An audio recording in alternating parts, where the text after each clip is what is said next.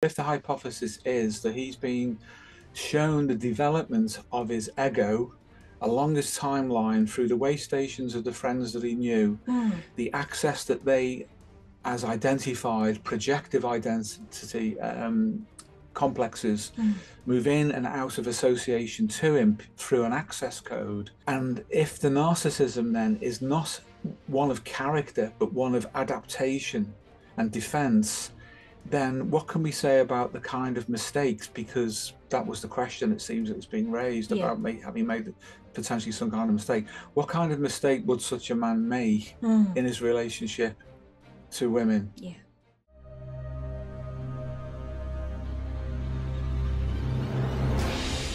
Understanding how to interpret dreams can be one of the most useful tools for personal development and therapeutic practice.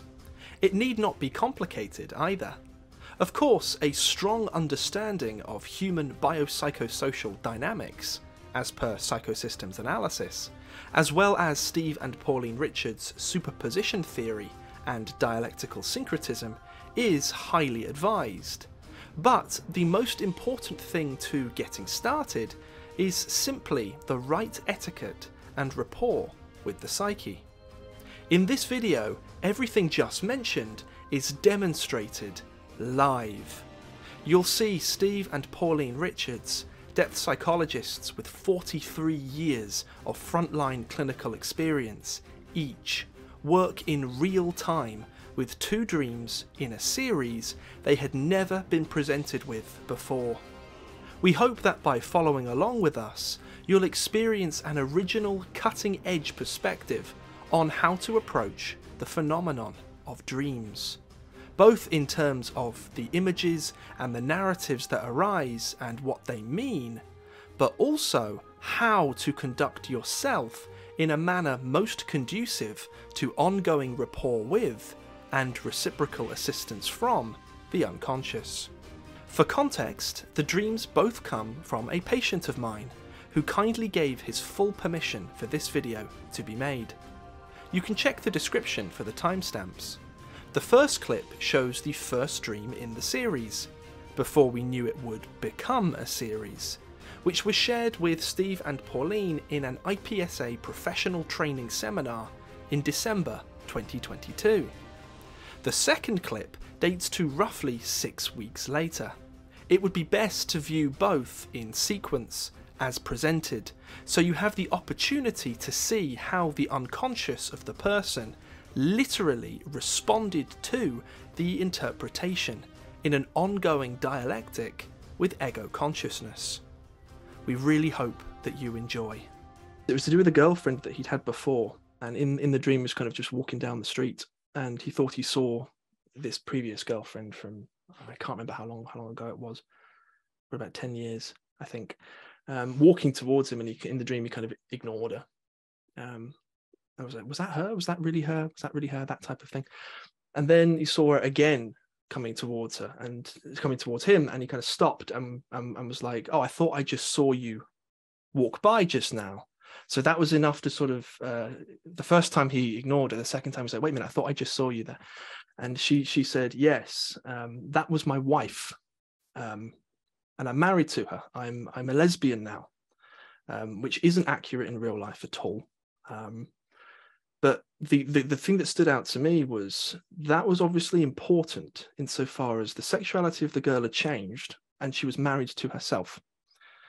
But the thing around sexuality, obviously, is like what what could that mean? Because immediately, you know, you can go with a Freudian view, and that's one thing. You go with a Jungian view, and it's like this this is your anima taking on a certain form. Um, I say the spokesperson of the instincts in a way. I think was the phrase that Jung used. I think. Um, but none of those appear to be particularly useful.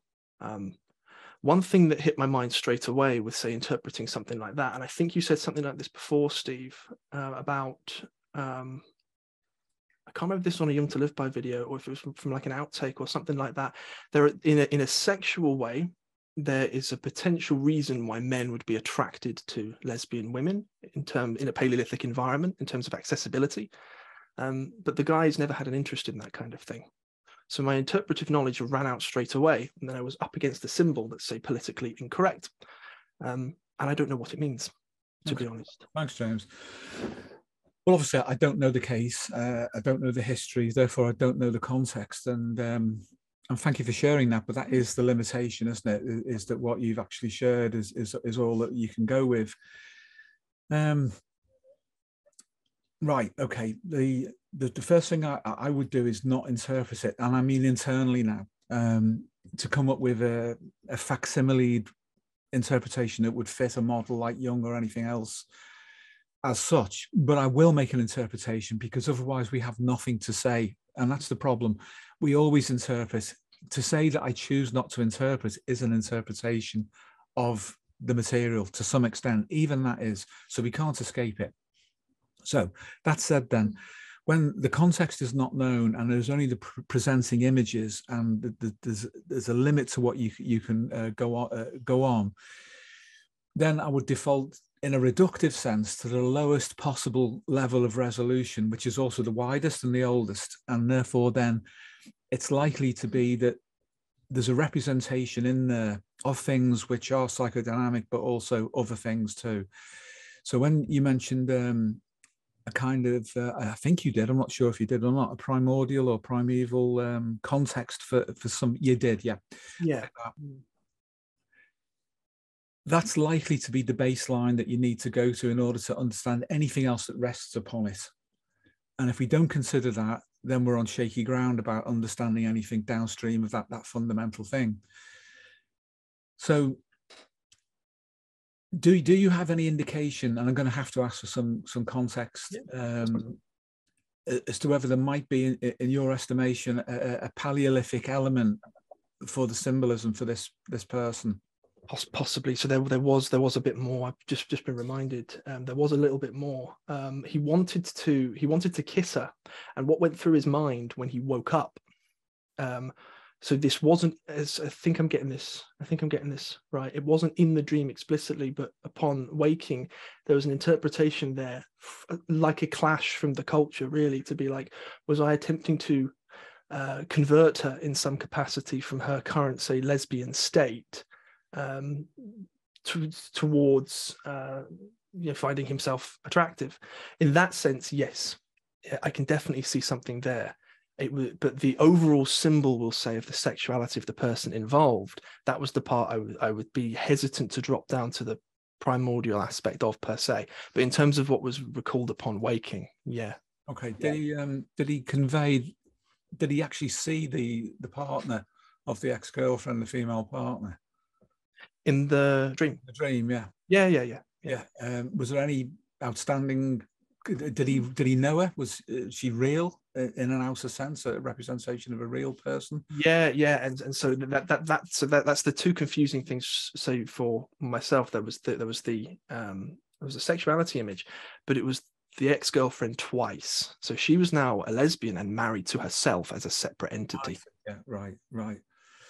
Okay, so there was there's a doubling of the representation yeah. girlfriend right yeah um and it was a mirror was it? Well not so much a mirror but an, an exact replica exact exact replica no differences at all. No differences at all um and one as, as, as okay. remember one went by first ignored and then the second one and that's what sort of triggered him off just want to sort of talk to her. Right got you okay right. Well i need to know more about that um about that context um so I'm, I'm I'm not going to be able to deliver an accurate enough uh, response, I don't think, on that. If we were to be superficial about it, um, and if it was Freudian, there might be a narcissistic element in there which would explain the self marriage.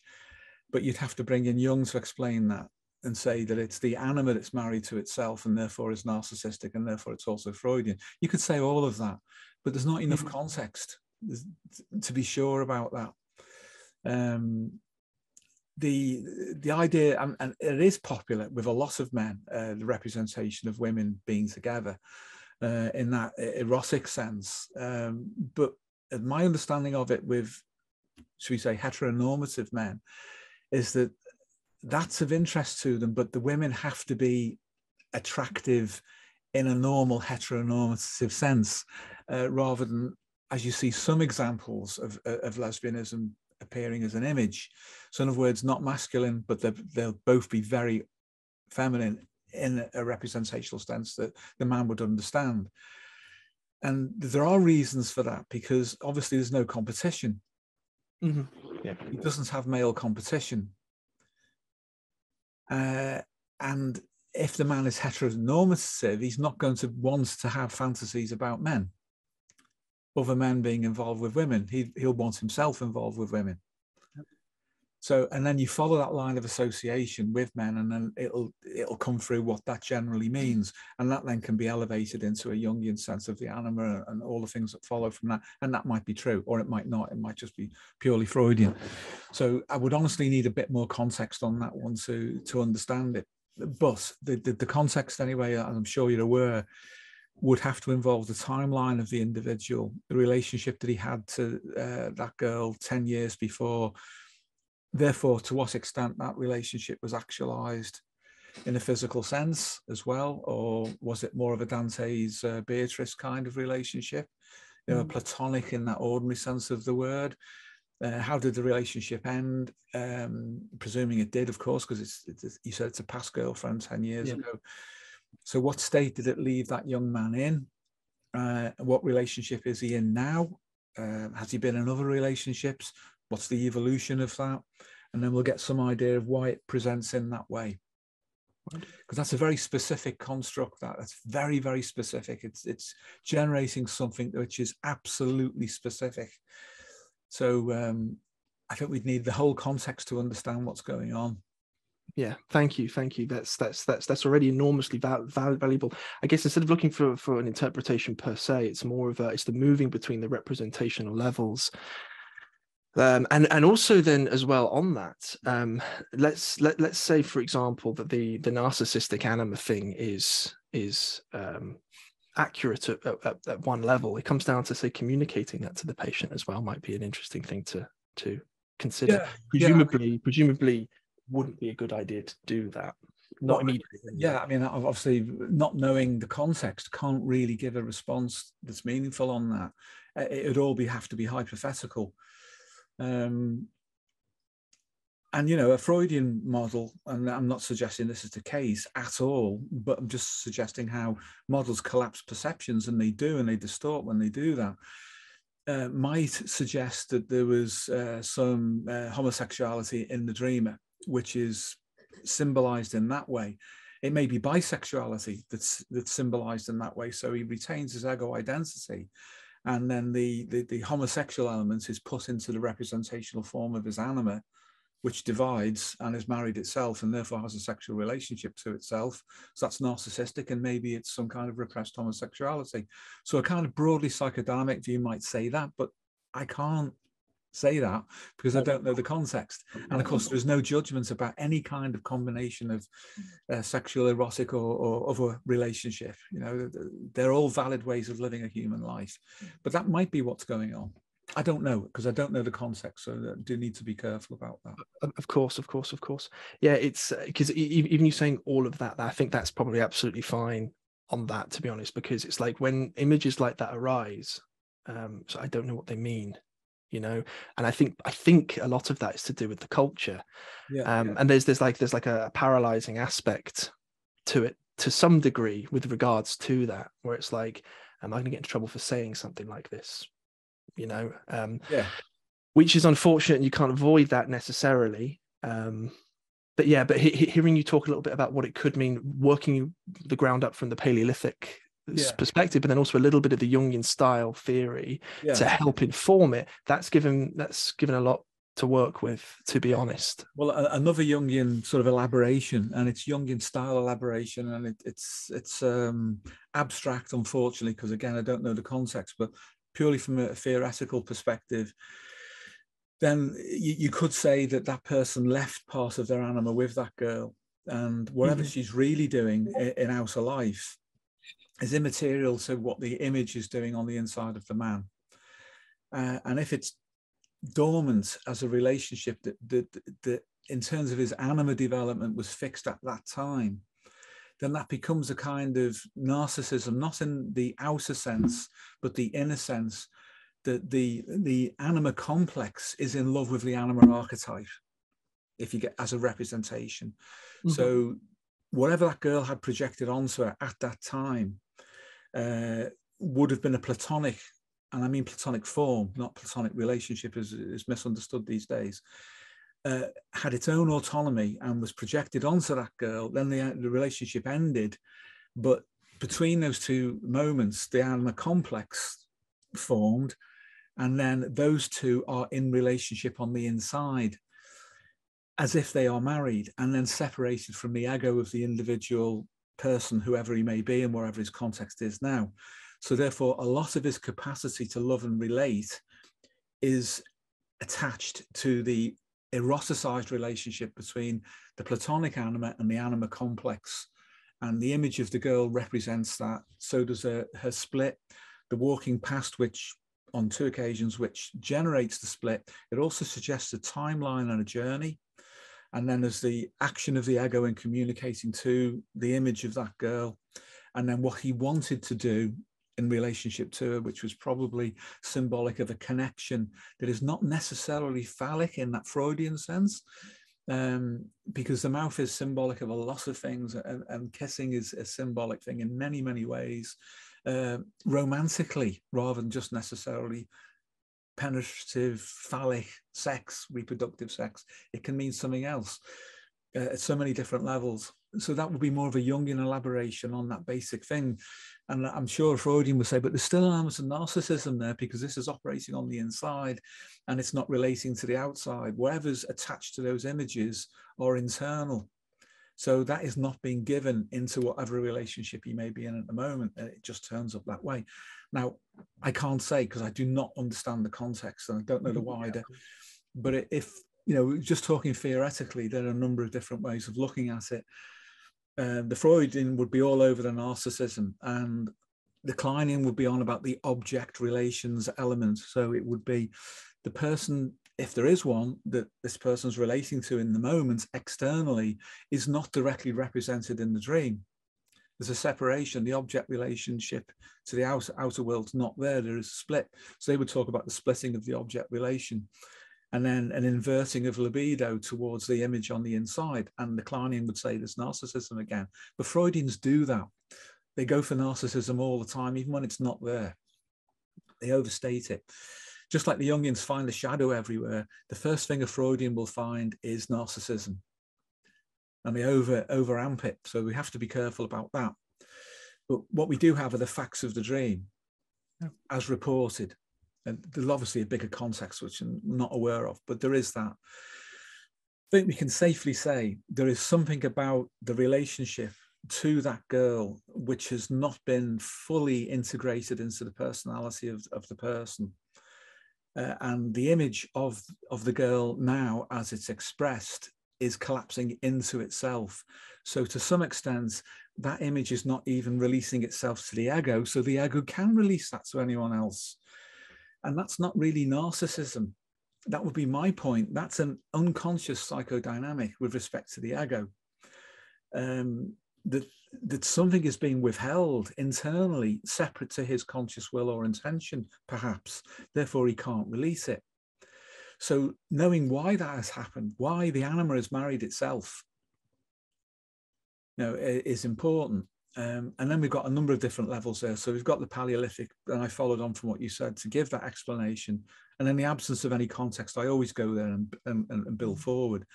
Then we've got the bifurcation, so to speak, of the um, the Freudian and Kleinian on one side and Jungian on the other, possible interpretations.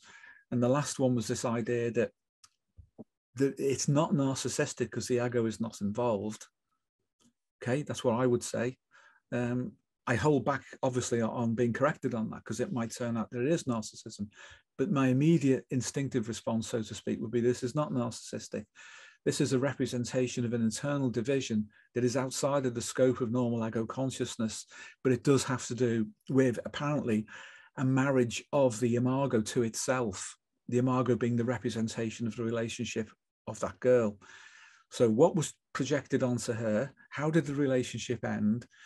Uh, then that which is internalized, which is the complex and its relationship to the Platonic uh, imago, If they are married, they become as if one, and yet they are separated too, because the dream ego experienced them as separate and had to be told that they were married.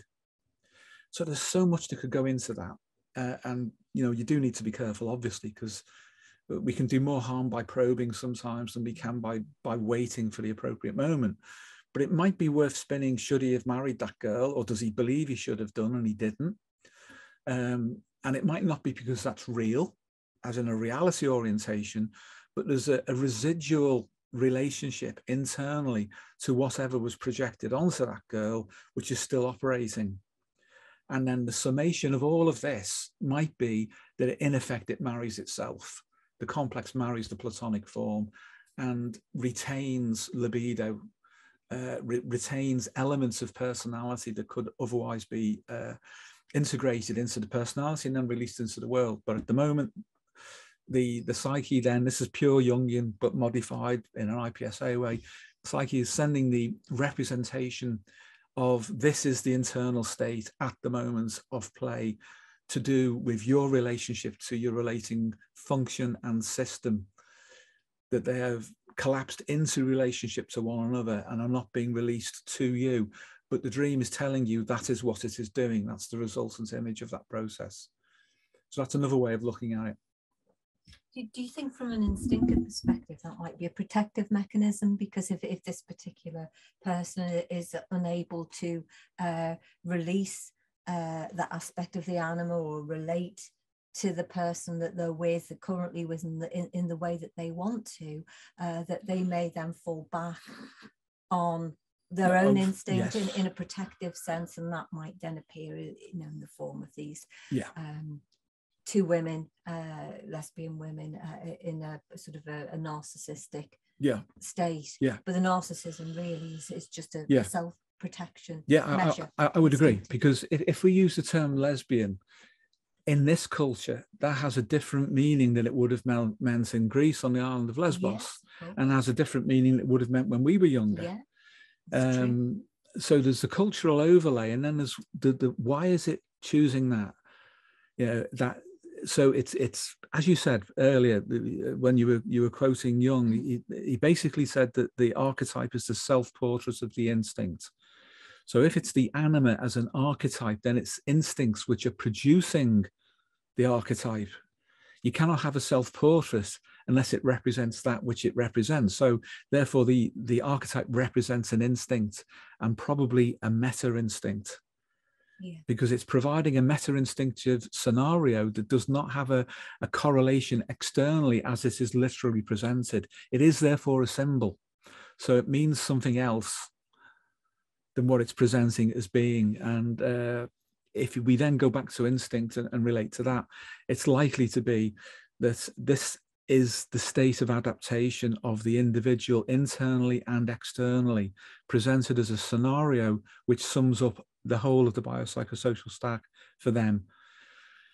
Uh, go on, hmm. sorry. No, I was just going to add yeah. to that. The, the, the um, apparent impediment of talking about these things as in that they would be sanctioned by the culture yeah. nowadays for, for talking about them might actually um, be have more to do with maybe a, a personal reservation say about to, may, there may be that feeling that it's something that can't be discussed within the relationship because yeah. it would it would be a problem so yeah. you know uh, that may then be represented as something that can't be spoken about in the culture, but it's really something that can't be spoken about within the context of, of that given relationship. It could be, it's just been transferred across. Yeah, it could be. There's so many possibilities, and yeah.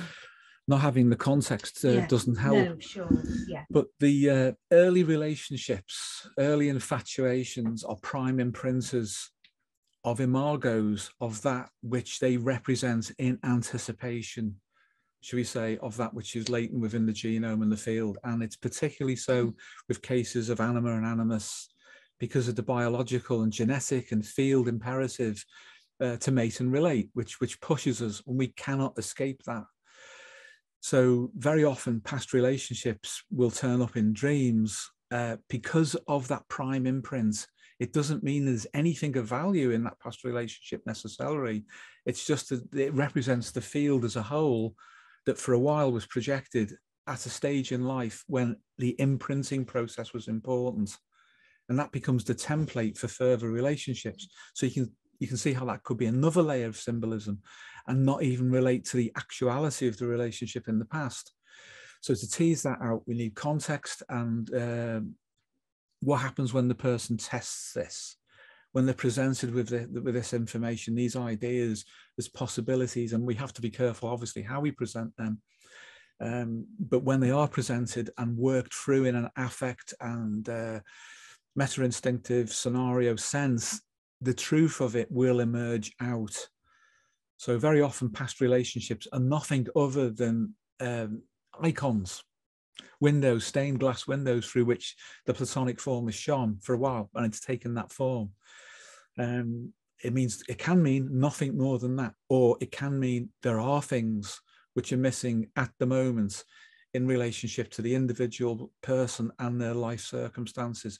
So there's a rewind back to that to try to access the energy that's the libido and the drive, whatever, that is locked up in that past representation of the Platonic form and is capped by the complex from the past. We have to be aware of that too. It was, was such a such an if, if if you don't mind me saying, such an elegance in your in your um, uh, potentials of, of interpretations there because their images obviously i'm not used to working with that type of image with people at all um, but seeing how oh, it was sort of translated from one representation, representational form into several different others that then coherently fits in with the rest of the core psychodynamic model. I think that was the part was generally missing. An image that's like, what the hell does this mean? But you translated it into something that fits with the rest of the model. Well, I, I was going to actually ask you the question that, that Pauline raised a moment ago about the whole defense mechanism thing. And that's because the idea of a complex marrying the platonic form, um, it sounds so um, why why why would it do that type of thing? Like there's there's meant to be energy and libido released from the person's life into the world. Why would it do that? And it must be some kind of protective thing. But then you said steve um, uh, almost like an, an, attempt to to go back. But i presume there'd be some kind of repetition compulsion there presumably that doesn't involve that relationship necessarily at all. In terms of if we're talking about the anima in the broadest sense there must have been relational things before that shaped this person to be more say platonically inclined um, not 100% accurately because there'll always be Freudian elements there. Of course, there will be. But in terms of looking at a general, say, anima timeline thing, I imagine would be probably quite useful in that regard. Yeah. Um, yeah. There's a lot. There's a lot to uh, consider, and um, making an attempt. If you could persuade this this this guy to make an attempt to understand it, in other words, to make an interpretation, but not collapse into the interpretation, then that is a signal to the psyche as a whole. And I'm speaking more in a Jungian way here because I think it's appropriate to do that, to utilize that language, would prompt a response from the psyche mm. without the ego saying this is what it is and i know what it is. It's saying this is provisional. This this is my impression. But am i right? You know and you ask in a respectful way. You're likely to or he will be likely to to get uh, an appropriate move on from that because it's a spontaneous impression, isn't it, of the mm-hmm. state of the inner world if we think in a purely Jungian sense. So therefore, then something is happening right now which has made that dream for that young guy. I'm assuming he's a young man, from what you've said. Um, need to receive that and to remember the dream so there's something about where where the representation of his anima then is and why why the anima uh, would marry the uh, so to speak well that's what the dream has said. The dream has said that that's happened. It's actually said that it's happened. So the next question would be if we were being cognitive would be well when did that happen? When when how long has this this marriage you know uh, been around? Where, and under what conditions? And to answer that, we have to be not cognitive. We've got to get inside, or this young man has to get inside that meta instinct because it will be one. Uh, and the, the, complexity of that and its rootedness in in the in the genome itself and in the ontogenesis of that person's timeline and find out how it all distilled itself out so that is now an appropriate representation of his inner world which itself will mirror what is happening or not happening externally in his outer world Uh, and that would then tell us why it is an entirely appropriate symbol from the perspective of the Jungian unconscious that it produces that uh, uh as a symbol. Yeah. Uh, but say the Freudian would think, well, you know, if you're marrying your, yourself or your, your, your so-called Jungian anima is, is marrying itself, then that's a form of narcissism, which means you're not relating, which means you're not giving. And, and you know, I, I think that will only go so far in, in mm. terms of an explanation. And I, I, I do think that's a, a fault with Freudian uh, modeling that it, it collapses too easily on the edge of the, the dynamic unconscious and it doesn't understand those dynamics. So this will not be um, a Jehnean complex. This is a deep structure anima complex, the pure distillation of the uh, the anima type as represented, but it's so close to that which the Platonic form has imprinted itself upon that they're virtually indistinguishable. Hence, they are married. So um, I would say access is necessary to the Platonic form and the uh, meta instinctive scenarios that the genome has anticipated that it will be played out through. Uh, but this is all perfectly normal. It's just that most people don't experience the normality of it consciously because they don't look or they forget the dreams or they, they're just pushed along by the passage of events in daily life. But representation is only significant to a limited amount. It doesn't mean that the past relationship is, is in and of itself important because even that is only a representation of the Platonic form. Mm-hmm. Mm-hmm. Yeah, thank you. Imprinting thank you. is significant because that happened at a specific time. But that's about it. Yeah. Thank you, thank you, thank you. The you know I, I find with um with clinical work sometimes dreams I, I think anyway I, I hope um, are quite easy to interpret. Um, sort of almost like an intuition from within, as yeah. if or even sometimes this is going to sound really really strange almost as if before the person's finished telling the dream something constellates and it's almost like you know what to say. There are others that just appear to be um, impenetrable. Yeah. Really to be honest. But watching watching you closely there for what you you, you seem to do you went from i mean you mentioned you haven't mentioned freud melanie klein jung. I think there was somebody else that you mentioned as well, and you kind of went with dialectical syncretism. Us, us. oh yes, yes, yes. IPSA, yeah. the IPSA mod, yeah, the, the IPSA modification of Jung, but meaning you didn't collapse in, into them. You went with a dialectical syncretism approach to to sort of do a um, a broad sweep or something something like like that yeah. so that's that's a useful thing i guess i can i can use going going forward if stuck on something yeah. so look at it from these different angles and then dialectical syncretism to come in. I've not done that with dream interpretation before with dialectical syncretism. It's, it's interesting to watch you do it. It's an interesting way of doing it and it also draws out the limitations of models.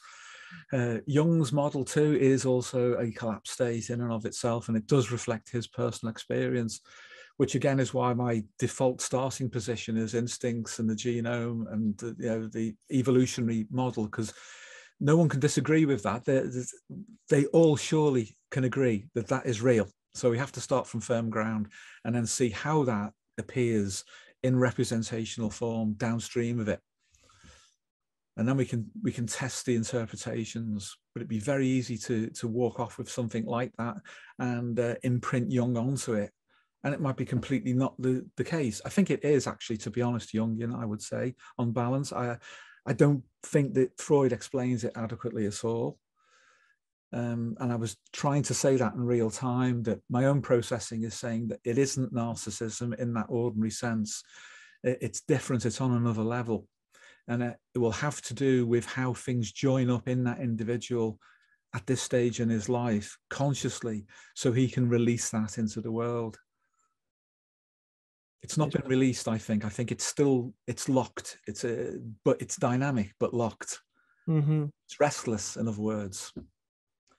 And that's likely to surface in other forms if we follow our model of superpositioning. So that restlessness that is represented in the dream should be detectable at other levels of uh, resolution including how this person is living their life and that's where we'll see if there's any neurosis. That's where we'll see the manifest symptoms. Mm-hmm. Mm-hmm. Yes, it's perfect. Thank you, thank you. I, I, I had other things to bring up as well on this, but I think it's uh, you, have given so much on that front. Um, I'm happy to, to discuss it further, James. No, because because because because things things that you've um, you've described will will definitely in some capacity go into um, the other dream that was that was given by this guy. Um, so it's, it's probably best. Okay, I'll leave, I'll, I'll leave, it there. I think if if there's any further developments when we come back in the new year, I guess I could try and um, potentially yeah. raise it again. But yeah, thank you, thank you. It's been amazingly valuable to hear you, to see you do that in real time. Thank you. Thank you, James. Thanks for bringing that. Thank you. As said at the end of that clip, there were indeed significant developments in the new year. The dreamer had another dream, clearly as part of a series, which appeared to respond to the interpretation just given regarding access to the Platonic form being required for his case to improve. What follows is that second dream and Steve and Pauline's live, worked through approach and interpretation. Hi, James. Hello, Hi, Jay. Hello again. Good to see you again. Likewise, guys. Likewise. Likewise. Um, this is um, a continuation then of that dream that we discussed. Yes, so it was the end of last year. Um, we presented it in a seminar, a dream from a patient who kindly gave their permission for me to to to do so. So the guys who are on the course, um, the professional training course at the moment, will be familiar with that.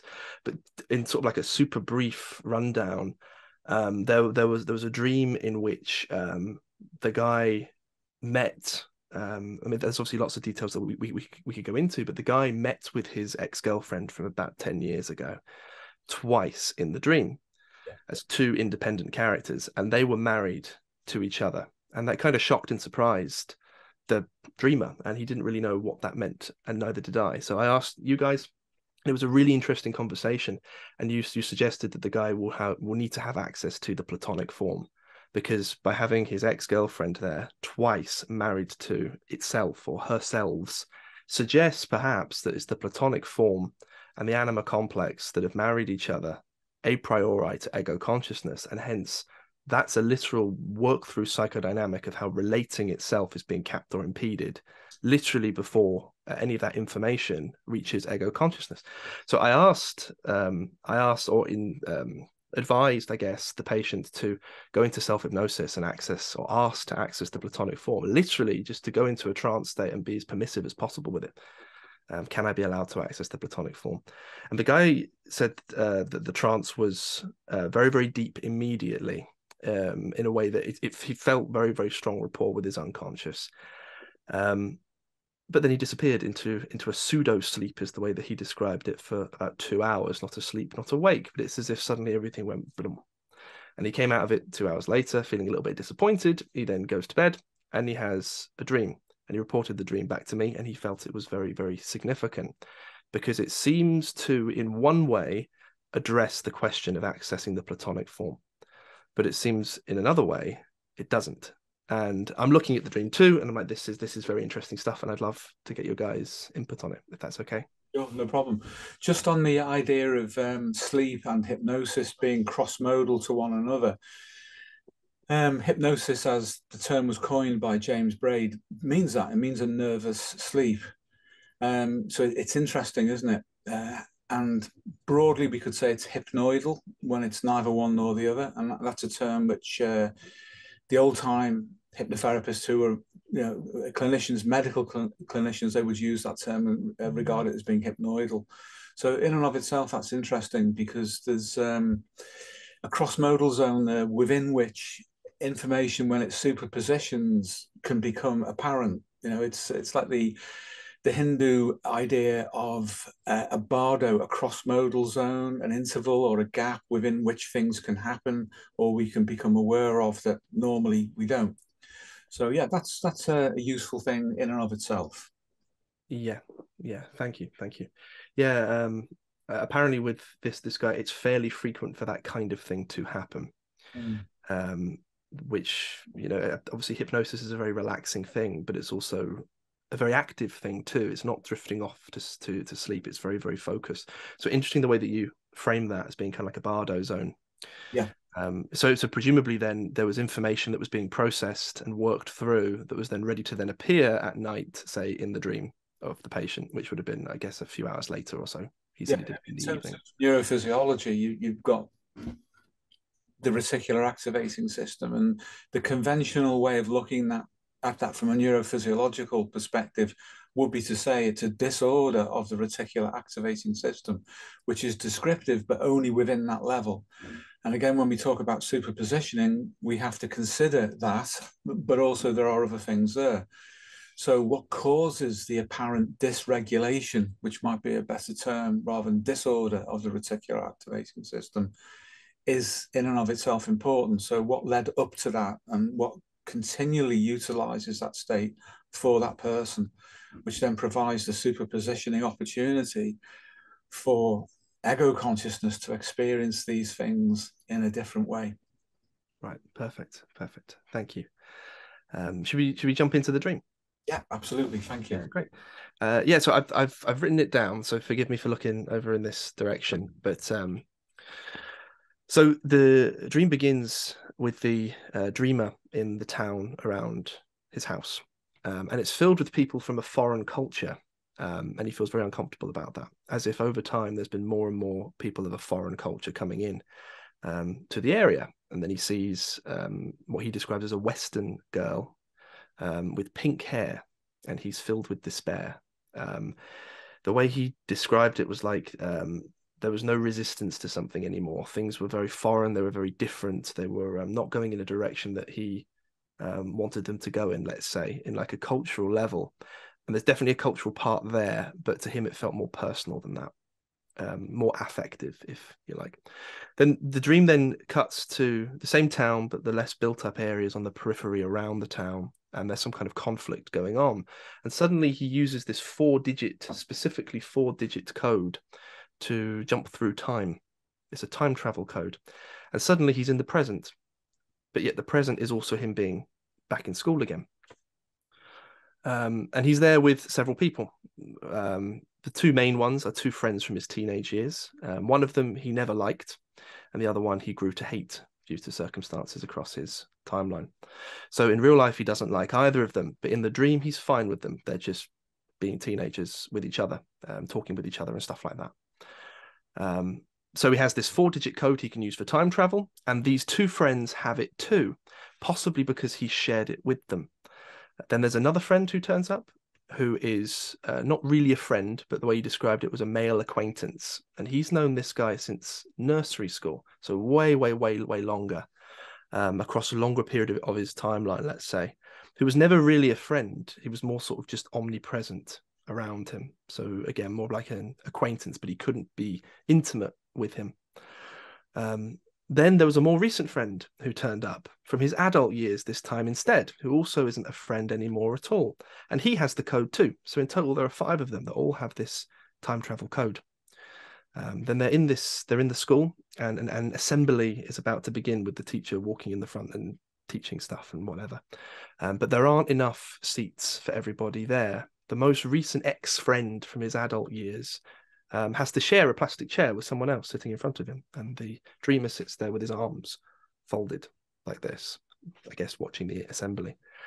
Then, when the assembly is over, the dreamer then discusses this this code with his friends, and he he he says that he feels pretty good. That although he doesn't really like the people, he feels good that he's leading a conversation in some capacity. Um, but then he realizes they've all lost this code. It's completely gone. He had it written on there's four digits on his hand and it was wiped off and gone. Um, and everyone else has lost it too. And the dreamer is then left with kind of a sense of panic, being like, how do I get this code back again? Um, I can't remember what it is. Um, then he says to one of his friends, be careful when using the code. Do not get stuck in a mortal loop then suddenly, and this this is the part I think where um, I'd I'd love to get your guys' input on it because I found this the most interesting. The dreamer then realizes what the true purpose of the time travel code is for, um, but the dream seems to deliberately withhold that information from him, as if the dreamer can't know, but the dreamer in the dream does know that kind of thing. But he is told, or he feels, it involves a pair of twin identical girls it involves that. Um, and that obviously links back to the previous dream with the twin girls. So it involves that in some capacity. Um, and then the final shot of the dream is one of these lads wearing a massive diamond engagement ring, really almost like comically big. Which diamond. one was it, James? Can I ask? Yeah, um, I asked him that, and it's not one of the named ones. It's a different one. Um, so someone who uh, I think he said it was like someone who he recognizes but doesn't recognize. So not faceless, but um, present. Wearing and and it's it's uh, not clear, but he kind of feels that it is that uh, he's proposed to the guy, but that's not made explicitly clear. Um, and that was the dream. That was that was the dream. Um, there's I've I've written a list, I guess, of questions that I could ask you guys about, but um, I'm wondering if if anything to that uh, stands out to you um, by way of you know potential stuff we could work through. Well, potentially, there's a great deal. There, well, there's always there's tons in it, isn't it? It's, uh, what, do you think, it's, Paul? It's where to start. Um, well, I think we probably could do with asking a few more questions ourselves uh, by way of clarification. Um, the the girl with the pink hair, uh, mm. I take it she was just a, a kind of anonymous female, yes. uh, potentially, or represent uh, representative of the kind of persona that some women have in the culture today. Would would, would that be accurate? That's spot on. Again, uh, because I, I, sometimes I look at some experiences, say I've had from my own dreams, um, and it's like sometimes there are there are just people that are like faceless that sort of blend in. Then there are others that almost appear in dreams as if you're supposed to know them in the context of a dream, but you don't know them in real life. And it would have been that particular category, if that helps. So recognizable in that sense, but not real. Yeah, and the, the, there seemed to be uh, some disenchantment between the, the, dreamer and that representation uh, of the feminine in, in that broad sense. But I mean, would, would that be true to say as well? Yes. So he felt very uncomfortable by these, I guess, a foreign culture um, moving into his, um, not his hometown, it's where he currently lives. Mm. Um, and the, so that that generated an uncomfortable affect, but seeing that girl with the pink hair, it was almost like it's all over now. There's nothing we can do to sort of um, put things back to a way that he would prefer them to be. You know. Okay. Yeah. Okay. Thank you, James. I mean, I'll ask Steve if he wants to ask anything, and then maybe come back on that. I do have some thoughts. So. Yeah. Well, um, I think I'd rather hear right now, if that's yeah, okay, James. Um, the questions that, that, that you'd yeah. like to ask uh, with respect to your understanding of the of the dream. Yeah, so uh, um, sure. I'm putting it into context, obviously, with the previous stream and everything that sort of built up to it. So uh, one of the things I remember that you guys uh, said was um, when someone dreams of a previous relationship, it's not necessarily important at all in terms of that relationship. It's more it could represent several different things, including just an echoing back to a previous era of time and obviously the guy's got the time travel code mm. you know so there is an element of time a jumping between time and almost a superpositioning of time it's the present but it's the past at the same time um in, in i guess in sort of like a literary way almost um complexes come to mind with that and the personal myth in general comes to mind with that but if the if the relationship's not necessarily important um, that it seems to me that there's a potential confirmation in the dream that that's true because that girl from the first dream doesn't turn up at all. She's not in there at all, and the twin girls that are mentioned isn't explicitly her at all. Um, what what the guy said is he doesn't know who those twin girls are, but they may be they may be the pink haired girl. He's not sure. He's not sure. Um, so, so, so yeah. In terms, of the relationship not being super important, I'm wondering if you take that as a potential confirmation signal to say, yeah, it's not that important really. There's way more here that's more fundamental. I would say it's a question of emphasis in the dream. Um, it doesn't mean that that relationship's not important, but as it's downstream of the original one, it's clearly in a series. Then, then if it were me, I, I would look at it as if this is an emph- emphasis uh, the interesting thing for me, the dynamic that's really interesting is the access code because that's like a pin number, four digit pin number. Four digits specifically. I yeah, that was another thing too because I was thinking there's time travel and four digits could also be a a year. It could. Yeah. It could. Yeah. Um, did he communicate to you what those digits were? Uh, is this something that we can discuss openly? The, the actual code? He or... doesn't know what. No, he doesn't know what what the digits were. No, and and he was panicking within the dream itself to be like, what is it? I can't remember. And he was sitting there thinking about what it could be, almost trying to piece it together, but it wasn't going to work. Almost. And the thing, another thing he said was it was um, being four digits. That's simple. Should be a simple, easy thing to remember. But for some reason, he just it was only four numbers, but he just couldn't do it. Okay, so um, an access code then, which is shared between these different characters, but then is lost. That suggests, because you were talking about superpositioning of consciousness, that suggests things that can be accessed and then things that can no longer be accessed that would uh, would have been called repression or suppression in the past, say by Freud or Jung. Um, but if it's if it's superpositioning we're thinking about, then it's possible to have a new access code issued. If you lose your PIN number, you get a new one. Yeah. And um, who is the the executive personality amongst the the elements within the dream? And what I mean by, by that is that the dream ego is is definitely a resolved focus for all of us. We, we feel it's one of us within the dream that, that is that has that. But we need to remember that ego identified complexes are part of the ego in effect. And although they may appear to be different actors in a dream narrative, it's still the ego. So if someone were to repress or suppress or not fully articulate yet the superpositioning that's necessary to maintain access to these, these identified complexes, then finding that code might be important. However, there is an alternative, and that is that the losing of the code can also be important because it would mean that the ego identified complexes could no longer access the ego. And that's a positive spin on that. So the way to find out, I would suggest, would be to use a hypnotic method, a dissociative method. And we'd need to move on from the dream then and uh, engage the characters and the way to do that would mean that however they present themselves in the hypnotic uh, state would have to be taken as is. So we shouldn't go chasing for the exact representation of the images in the dream because these representations are transitory. Uh, they're generated more or less in the moment in real time. So once we've had a dream and the dream is gone, then the same uh, relationships can be represented differently so the key seems to be literally access. Who has access? Is it favorable for the access code to be lost? Because that means that the ego identified complexes can no longer access the ego. Or is it unfavorable because they've gone into a state of what would have been called repression by Freud and Jung?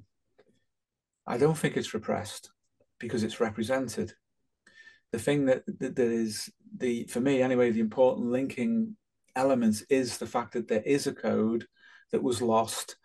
And if we take the, the symbol of a four digits access code as being a literal but symbolic representation of access between the elements involved, you can then use the suggestion or ask the question of the psyche, can I have another access code issued, please? Or is there a reason why those elements are not allowed to access me, the subjective ego, any further, and then take it from there. Right, right. That seemed to be reflected what, what you've just said, Steve, in the way the changing nature of the female characters as well. Yeah. Um, as you say, uh, you know they may be represented differently in different states and in different dreams um, in different hypnoidal states uh, but as i think um, james was suggesting that um, the girl with the pink hair uh, that was you know reported to him could well have been um, the two female uh, women who were, were conjoined yes, as well. Yeah. yeah. So um, we've probably got some kind of deep structure meaning there that's being represented differently yeah. uh, by the different surface structure representations of yeah. the feminine. Yeah. So, um, as I think you're suggesting, having a, a, different access code or a different way in, uh, or maybe even going in at a different level, might then help to um, unlock the meaning yeah. behind both those representations and maybe there were others as well that we don't yeah. know about but yeah.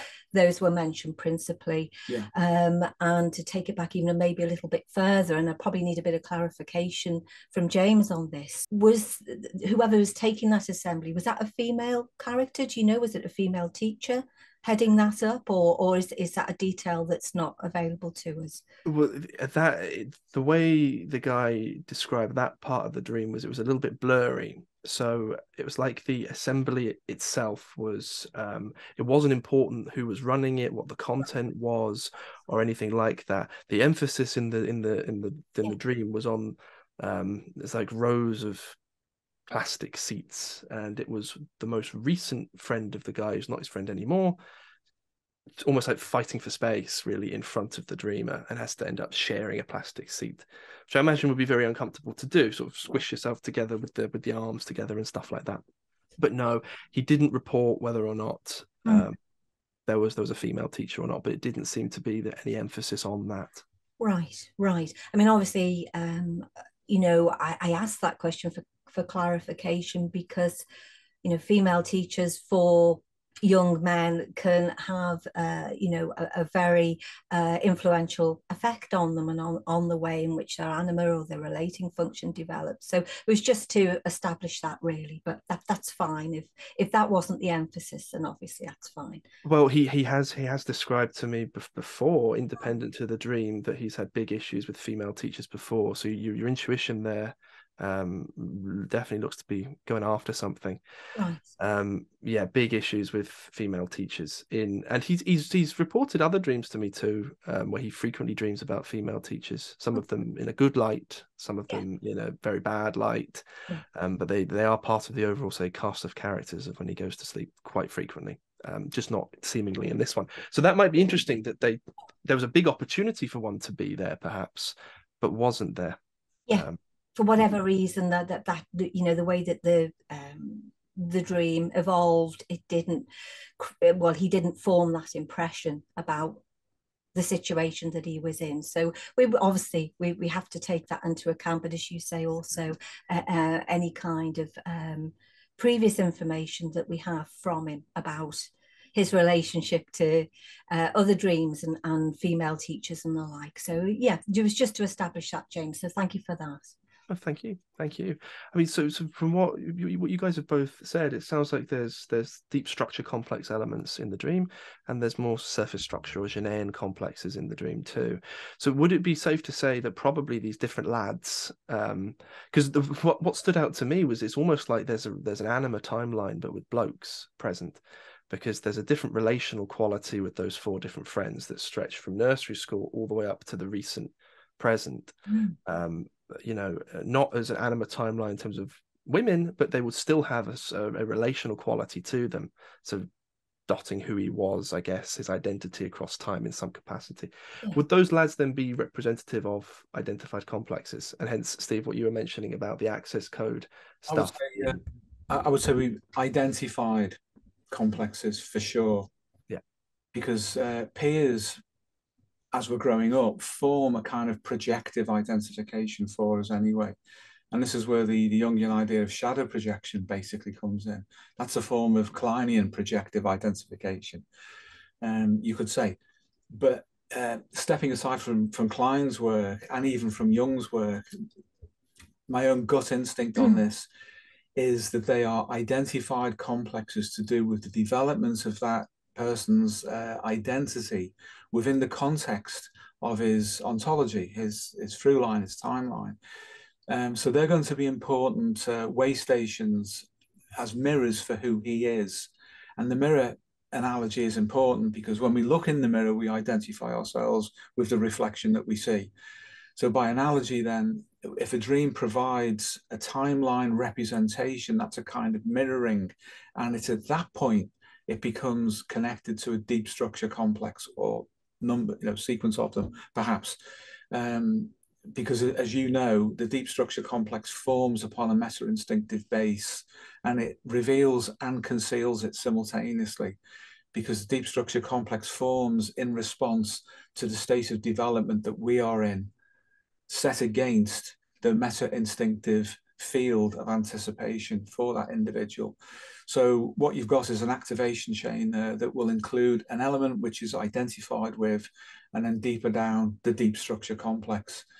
Janaean elements usually come about through adaptation, which ranges from normal to traumatic. So you can get, if you like, the presence of all of these being summated in the image of a single person or multiple people across the timeline. So it can get complicated, but it's really fundamentally simple for this reason that the dream is a narrative and it's meant to be explored as a narrative because the narrative reveals its solution in the same way that a movie narrative should do or a mythic narrative should do. It should make sense, even if it appears not to. If it appears not to, that means we're not understanding the bandwidth of the symbols and the unfolding narrative in and of itself of the dream. As it appears to be a continuation of a past dream, then this is what I would recommend. Uh, this is what I'd always do anyway, which is I accept the fact of the representation as it, it's recalled. I accept the connection that appears to be uh, made with the previous dream. However, I don't personally, I don't think anybody can have enough bandwidth to penetrate into that sufficiently without another response from the, the, the dreamer internally, not the dreamer's ego, but internally, in the form of an update and a response to the attempt that we make to interpret the dream. So the interpretation shouldn't be final, it should be provisional and a kind of, as, as you know, a dialectical prompt for the dreamer's psyche or homeostasis as a whole to respond to our attempt at reaching into it. Um, so back to the access code then, that's the, the dialectical prompt I would suggest to the dreamer to work with and see what the response is. Because from the ego's perspective, that probably makes sense. But does it make sense internally? Uh, and then we just wait and we, we get the response from that, I would say. Right. Okay. Okay. Um, and the way to do that would be another dissociative method, you say? Yeah, definitely, because that's the ground, if you like, or, or the state within which this has been presented to him. I mean, dreams are, they're a dissociative state. We're in the dream ego state, not the waking ego state. The self concept is held in common between the two. So again, all of those complexes, identified ones are the most obvious, uh, that are present in the self-concept are equally drawn into connection with the dream state as the dream ego is, because the same complexes are associated to the waking ego. The self-concept is that which links both. And then the timeline, the through line, is the ongoing narrative of the individual's life. So we, we can expect to see things mirrored. Um, it seems to me, for what it's worth, as a provisional hypothesis, this person has been shown the development of their ego across their timeline uh, and different uh, nodal points of those relationships through the projective identification with these other people. And then in the background of that, there is the relationship to the feminine um, and how that's been timelined as well and without wishing to make any kind of because it would be wrong any kind of final judgments on what all of this means uh, if i were you and i were working with that young man uh, i would want to know what the unconscious thinks of the interpretation so far obviously signaling that it's provisional okay okay um yeah okay there's there's a lot then to communicate back. I think. yeah. Um, eh, I, I guess just a couple other other points that sort of stand out. That, I mean, one of them certainly is that that final scene, which has almost like a um, a tricksterish element from my point of view. Yeah. Um, the guy says he's not gay, um, but apparently he's proposed to a man. Um, and obviously, it's a representation. It doesn't mean, you know, some kind of Freudian wish fulfillment thing. He wishes he proposed to a man that he once knew in the past, that kind of thing. Um, and it's not made explicitly clear whether or not it is, say, his engagement ring that he's given to the guy to wear. Um, but I thought that that was interesting as, as, as a final scene to the to the dream against kind of like a backdrop, especially because the previous dream, the platonic form seems to have married the anima complex, and it's like, does this mean that the ego is itself married to an identified complex or married in that kind of alchemical sense. There's a big bond going on there, or will be, intends to be, because it wasn't marriage, it was engagement. If you're going to see what I mean. So there's like a few elements there that aren't quite clicking with my own thinking. It's a betrothal, but it's not a complete state. And if we only had the and I do because I don't know the, the, context at all of this young man's life, so everything is provisional that we're saying, mm. isn't it? Oh yeah. You know, mm. um, if we only had that, and that's all we do have until this presentation, and if we accept that that's a move on, then who is it who looks in the mirror and falls in love with himself and therefore betroths his libido to himself? What's the name of that character from mythology? That's that's Narcissus. Yeah. So it may be a representation of narcissism. And I don't mean in a pathological sense as such, but in a functional sense, because if we think of it that way, because we're, we're getting the timeline revealed to us, a fundamental narcissist has in common certain features with a fundamental psychopath or sociopath in that it's genetic. If, if you know if it's not an adaptation to the way that the life has unfolded along the timeline, there is no need to represent narcissism to a narcissist as a timeline issue unless the timeline is the key because they're fixed that way therefore the timeline's not important. The, the dreams of a narcissist would show them being narcissistic because they lack the capacity to understand that they need to change or to differentiate themselves beyond what they are. They are fixed their character is fixed so on that basis, then I wouldn't see this as the dream of a genetic or character orientated narcissist. I might hold a hypothesis that there is an element of narcissism which is developed along the timeline, which is different. And the timeline between the two dreams, and again, this is limited information, uh, suggests there's been a difficulty relating to women. And that may have generated a form of narcissism, which is protective and that will go back to what Pauline was saying yeah. when, she, she, was asking about the relationship yeah. to teachers, yeah, and, and teachers. yes, absolutely, and you see that coming through in the other female characters as well. The the, the woman with the pink hair, uh, and the two females who are married to one another as well. There are elements of narcissism there, and th- there may be that may be uh, deeply personal uh, for this young man, or it may be uh, some kind of cultural commentary on the state of women in the culture, or it could be both. And um, obviously, for young men these these days too, uh, just just as a broader point, there is this.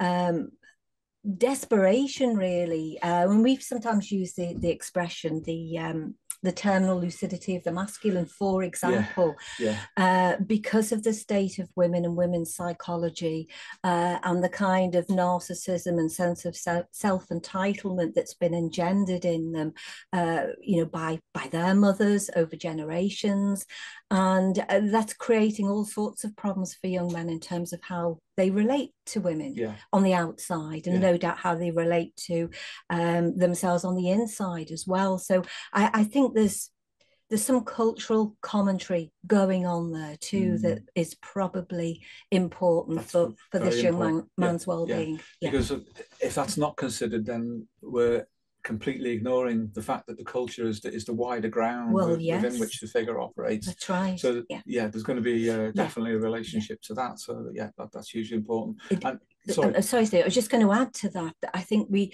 we shouldn't be put off by the woman with the pink hair either because it would be easy some uh, maybe a woman like that would be more or we might think of her as being more obviously that way, maybe uh, more into sort of woke ideas and, uh, um, you know, uh, dare I say it, towards the, the, the, left politically and into social justice and, and so on.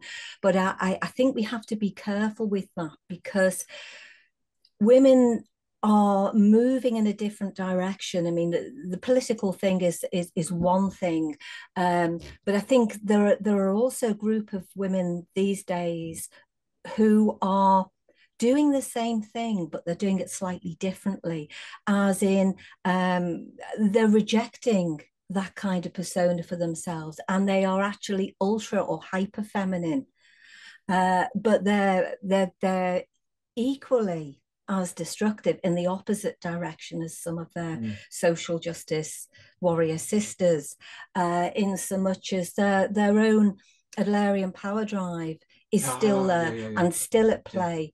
Uh, and and it will be it'll be more disarming because of the way it's delivered yeah. to young men. And um, it, it's an awful situation, really, because young men are kind of stuck in the middle of this kind of polarized presentation of the feminine. Uh, and what do they do about that? How do they relate to women okay. anymore culturally? Can, can I yes, just ask you, do you mind, James, if I just bring this in? That we've got the um, you mentioned the left, if, if we can talk in yes. these terms. Yeah. The representation of the right. yes. Feminine. Yes. The feminine yes. right. Yes. Is exactly what you say. And that's is. what that's what you see with with these uh, sort of uh, right wing uh, cuties. You do. Feminine, oh, hyper feminized. And yeah. there's another kind of trap there. There is uh, as you say, the, the way that they present themselves mm. is a form of bait. It is. Um, and there's a destructive power drive which is skewed towards the far right that hides, absolutely. which you alerted me to actually, um, yeah. as part of your research on, you know, on the yeah. right, which is yeah, great. Sure. So sure. that's that's present, um, yes. and I think that's important. In the dream, though, mm. um, we're not seeing that. We're not seeing that. No. We're seeing something that can be rejected. Yes. Yeah. So to put that back into the, if the hypothesis that this young man, and again, I don't know him, so I can't, mm. you know, I, I, can't say, but if the hypothesis is that he's being shown the development of his ego along his timeline through the way stations of the friends that he knew, mm. the access that they, as identified projective identity um, complexes, mm. move in and out of association to him through an access code and then perhaps they should or should not have that access code that needs to be uh, mm. demonstrated mm.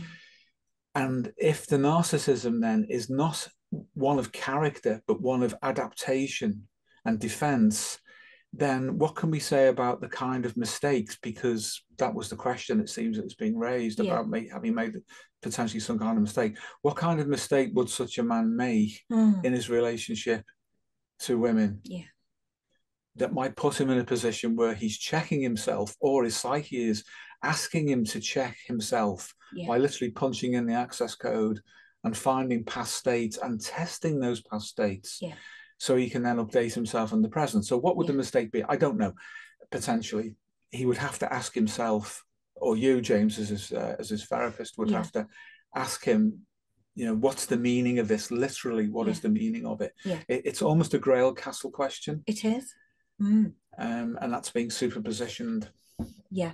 Well, the, the, the mistake in broad terms, um, if I can assume it is a mistake in the first place, we don't know. We don't know. Yeah. Of course, yeah. we don't.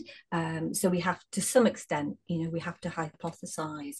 Um, might be that you know, as you say, rightly say, Steve, um, with respect to the feminine, um, one form of the feminine, destructive form of the feminine, potentially, uh, is very obvious, and the other is not. And so, um, and and is absent, is not even represented.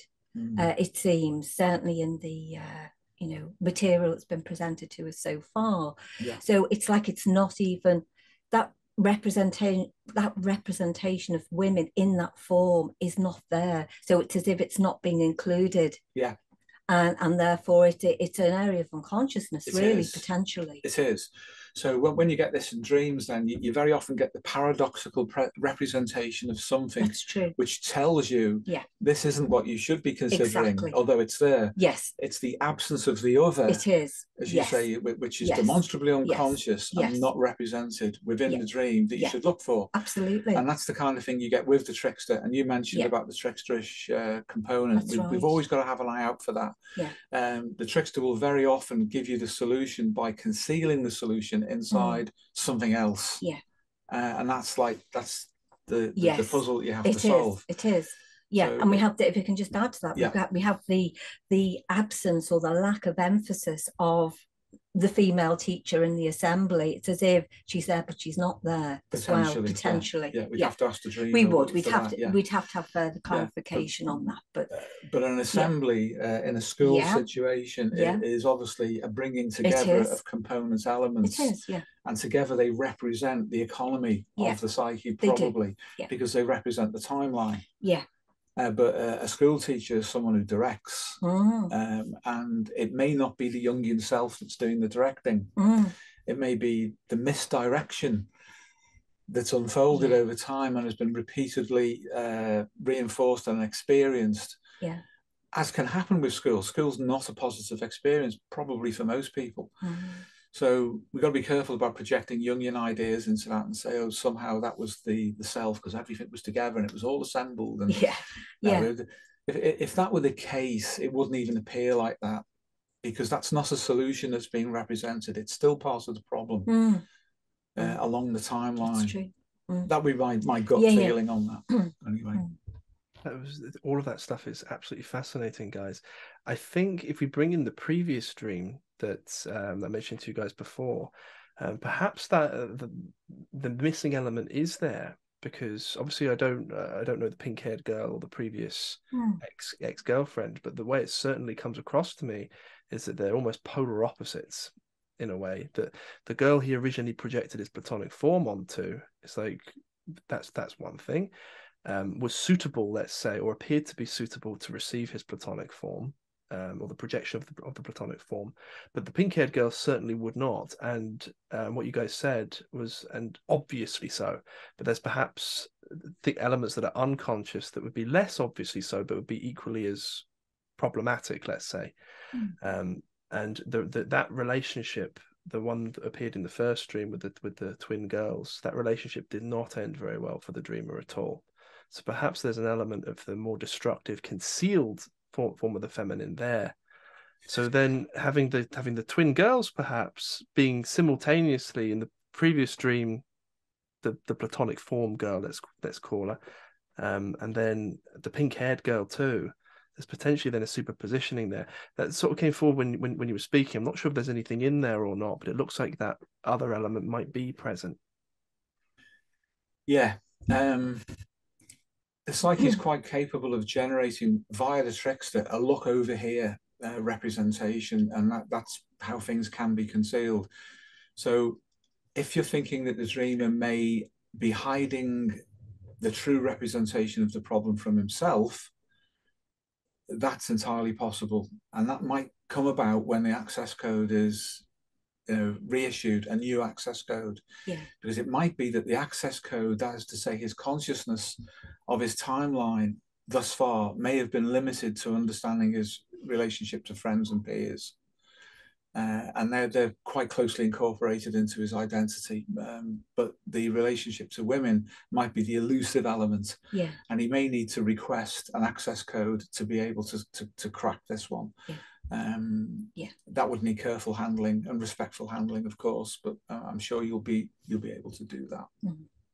Yeah, it would probably uh, require an updating of this understanding of the feminine, really, yeah. uh, and the kind of strategies that, that women have uh, to attract men um, for relationships, and uh, to maybe see that very often what we're looking at is is just a surface structure difference.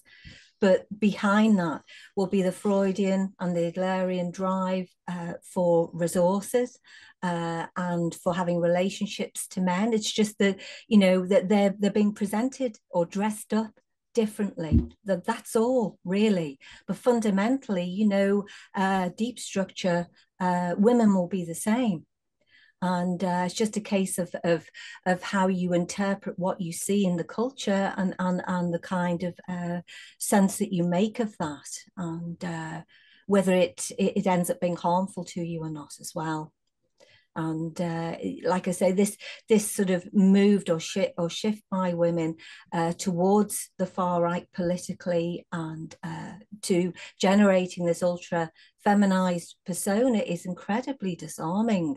Mm. You can mm. see the other. Forgive me for saying, but you can see the other kind of presentation coming from a mile off You but can. but not that. Yeah, the pink That's hair. the pink Yeah, hair. Literally, you can see it coming Yeah, from a like mile a off. beacon, isn't it? It is, yeah. It is literally like broadcasting uh, your psychology, uh, whereas the other uh, is as well, but it's much more subtle and it's much more disarming. It's a bit like when you say, Steve, about, um, say, for example, with respect to your um, character Lilith in the novel. Oh yeah, yeah. That evil is obviously is often more disarming when it's dressed up Oh yeah. uh, and presented through beauty, for example. it's it's more effective. it's far it? more It's effective. it- it's far fact, more it's far more- disarming It's far more dangerous. and far more delivered. dangerous too when it's delivered Well, like that's that. the line from the book, isn't it? Yes. Yeah. Yes, yeah, Uh, and sometimes these things have to be concisely packaged to They get do. through, and they do. We've got to avoid a multiplicity of explanation about Yeah, that because sure, it's of so course. simple Yeah, um, that, Yeah. that it is far Yeah. more dangerous when it's delivered by beauty, however beauty is perceived. yes. And the platonic form is a way of perceiving beauty, is, yeah. um, principally because it's undifferentiated in form, but it carries the power to project Mm, um, right past the ego. So we have to be careful of that. Yeah yeah right, Thank you, guys. Thank you. Um, so, so the, the the presence of the pink-haired girl then um, reveals through the concealing that it's it's the obvious problem that, that a young man could, Yeah. uh, an, an obvious presentation of say a, perhaps Yeah, This the young man. feminine. Beg your pardon, I busted in. I'm awfully sorry, James, but the young man would, it seems, from what you told me about his reaction to the dream image, reject that kind of woman. Mm, Now that means by default he wouldn't reject its opposite. Mm, yes, yes, yes, yes. That's where the trickster would would Yes. operate Yeah. uh, by doing that, but Yeah. it would it wouldn't be doing it. And this is the further paradox of a trickster to harm the young man, but to offer him an almost exasperated opportunity Yeah. to say, "Can't you see? This is what you think is the problem." Mm, and it might not be that. yeah. Um, y- if you, you're thinking in popular culture, don't you, you? You've heard of the Stepford Wives movie. Yeah, yeah. Yeah, the, Step, Yeah. the Stepford Wives is the kind of problem, the replacement problem, the changeling wife, you know, um, who appears to be perfect. There's a problem there, though, and uh, that series, The Man in the High Castle, Yeah. where you got the right wing, uh, the persona was perfect, absolutely perfect in every way, but it concealed a fundamental evil. Uh, and that's the problem with the with the far right. And we're not political. Paul Not and in the we're not, least. We're not, we're not No. interested in Far from it. in politics as such, but No. the manifestation of Yeah. the extreme Yeah. uh, is interesting because people tend not to see it. Mm, You know, when, when when they're preoccupied with one element of the polarity, they don't see the other. don't. So uh, yeah, that can Yeah. be it. Right, right. Um, thank you again. I, I think, the only the only thing from my own understanding um, that sort of left up in, in, in the air a little bit is when you mentioned the, the the narcissus element of the the seeming proposal to a guy. Yeah. Um, is the is the presentation of the guy important at all? Because and I, so say to me, if if a patient reported a dream and it was them literally marrying themselves, that would be pretty obvious. But marrying not themselves, but what appears to be a representation of themselves, but in a very particular form, when it seemingly they could have taken on lots of different forms. I'm wondering if that's important at all, or if it would just sort of blanket mean um, there's a withholding here of relational energy, and hence it's flowing to something within ego psychology, and not therefore being released to something outside. If you see what I mean. Yeah, I would say uh, betrothal is interesting because you can always break an engagement.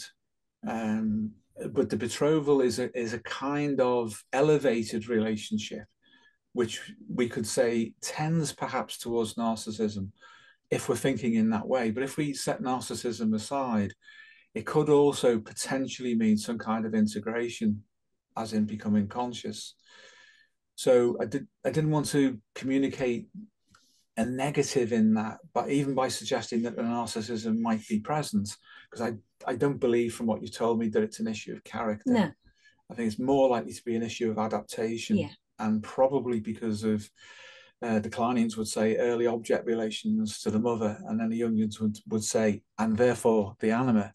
And we would say the relating function and the relating system, the system being the equivalent of the complex of the archetype, which is the function, as that unfolds across a person's lifespan development. But it seems to be that he's had elements of his ontology of the development of his ego presented to him. That's really interesting. Mm. The projective identification with his peers that have been the way stations of, the, of his life. That's what made me think about the, the potential of this being a representation of narcissism, which has blinded him to what may have got in under the radar, should we say, to do with relating. Uh, because we all do it, we all attempt to compensate for things that have gone wrong earlier in our life. Um, and I, I think Pauline's absolutely right that, so to speak, that that's where the uh, the reified right wing um, yeah. glamour cutie perfect girl yeah. is a problem yeah. to a lot of young men. Yeah, because she can be a predator. Oh, absolutely. Easily. Yeah, of a, yeah. Diff- a different kind. Of a different kind. Yeah. Yeah. Yeah. The Stepford wife. Mm. You know, they try to make something perfect. Mm. It's a Jekyll and Hyde, really, but towards a woman from a man. And you actually constellate something that's very unpleasant. That, that can happen, but I don't want mythologize it too much. Mm. Uh, I'm with you. I'm with you. Um, I feel what you mean. To to be to- totally honest with that kind of right wing style rep- representation, um, having having grown up in this culture myself, um, and hopefully personally grown from you know more naive to less naive as time has gone on you, you, do see that kind of thing more and more deliberate crafting of the persona that some people certainly use mm. um, and then it's reified or not uh, not reified it's um, held up isn't it to be like this this is the feminine ideal mm. um, and it's almost like got an innate shit test to it too yeah. It. Um, it's an adaptive yeah. strategy on the part of some women for yeah. sure. Yeah. Yeah. Yeah. idea about the um, the terminal lucidity of the masculine. That's something we should discuss. I yeah. think that would be a, a good thing to mm. to discuss between us. Oh, definitely, definitely.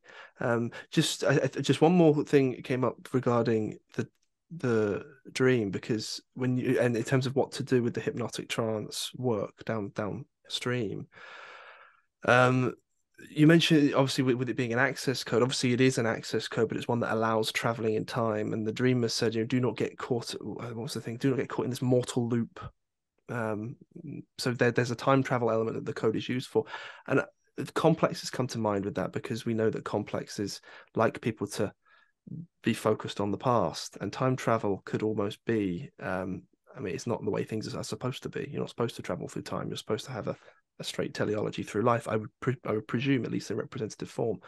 So there's the access code, and then there's whether or not you should you should use it and what you should use it for. Um, that seems to sort of stand out, and this isn't necessarily something I'll, I'll, I'll communicate with the guy necessarily, but for my own thinking, it's like is there is the time travel element important from the access code itself to work potentially with the hypnotic trance?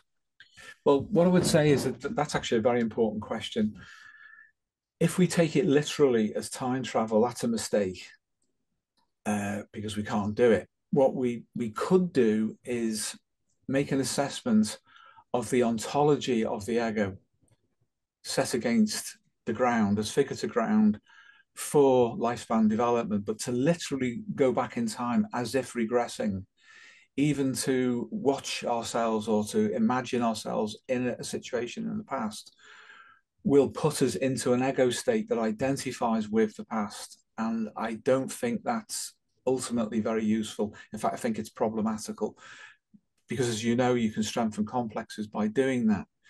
The, yeah. the, the dreams seem to suggest that there, there has been a timeline. and we can acknowledge that, and that's important. But for me, the standout is the access code. The access code brings things into relationship, into superposition now. Yeah. So we can access it right now, understand the past, but only in relationship to where we stand at the moment in order to have a future. Yeah. So uh, time travel is uh, a very dangerous activity when yeah. you do it in in this kind of. Way. Well, the idea of it uh, is seductive as well, yeah. isn't it? Really, it is. Um, because of all, all, the connotations around that. Uh, but it might actually just represent uh, part of a repetition compulsion yeah. uh, and a, a, sort of a loop cognition, which is not helpful. Yeah. Uh, and as you rightly say, proper connection to the instincts and adaptation to the outside world and to the future is probably where this young man needs to focus. It would sort it out. So yeah. if we get beyond the immediate presentation that's been offered as a representation, including the traps that are in there, and uh, the traps as such will be narcissistic. That that's the key. Mm. This individual, this young man, is likely, if he fails, to trap himself through narcissism. So he has to separate from that. The access code then is the key. I, I, I do believe, yeah. uh, as I said earlier, we need to ask the self-regulating center of the whole person. I don't want to use the, the term Jungian self because that's too psychoreductive. But in effect, ask that about the meaning of the access code. Am I to deny it or am I to have a reissue of it? And if so, what do I use the reissued access code for? Yeah. Uh, and prospectively, I, I feel that it would be towards his understanding of the feminine. He already has an understanding from the dream of his ego development timeline. So there's no need to go back. We, we need to know what's happening right now. Yeah. And then what's important in the future. And that could be why the access code was lost. It was as if to say, this is what you know. Yeah. In symbolic compressed form. Yeah. And if you unpack that, you'll get your timeline, and that's okay. But the access code is lost. Therefore, maybe you're not intended any further yeah. to look there. You need to look the, the girl with the pink hair because that's the persona of something else, which is otherwise concealed from consciousness by the narcissism the adaptive narcissism. Yeah, he's not actually going to learn anymore from no. that. That's the point, isn't it? Uh, and so, you know, to to stick uh, with that imagery uh, is is potentially a, a, problem. Yeah. Um, this is it. it. It's almost what's not there. Yeah. That that which is absent that is important That's for him, and it will be mind, yeah, and it will be the yeah. the new access code that yeah. will give him access to um, that updated consciousness really yeah. um, and, and allow him to re-regulate update his self-concept um, you know yeah. get get himself back on course uh, with respect to his life in the present and the future so uh, yeah that, that that's that's something that I, I would definitely take up with him. I'd be interested. I, I, would probably even present him with the question of, well, what is it that isn't there that maybe yeah. should be in there that yeah. you're not looking at, and just just seeing how much uh, of that that he can actually produce himself with yeah. a little bit of you know assistance. Well, his instincts, because they're tied to the seeking system reciprocally. Uh, with a prompt like that, will probably go off looking for it. That's true. Uh, yes. And that will be a proper um, deployment of his libido. Yeah. From within to yeah. without is to yeah. actually find that. Yeah. And maybe why the access code wasn't remembered mm. is that it was not intended to be remembered because you need a new one. Yeah. The symbolism being the old one no longer applicable. no, no. Um, but all of that would need to be packaged and put to the person mm. so they could respond from within. Definitely. And then yeah. we're, we're updated or you're updated at that point. Yeah. That's superb. Thank you guys so much for that. I'll communicate this stuff, um, or some of the stuff, obviously, with the patient, and I'll obviously let you know how things go. But that was a, a superb hearing you um, analyze that stuff in in real time. It's very very impressive. But um, thank you. Thanks, Appreciate it. Thank you. Cheers. See you soon. Good luck with everything. Thank you. Take care.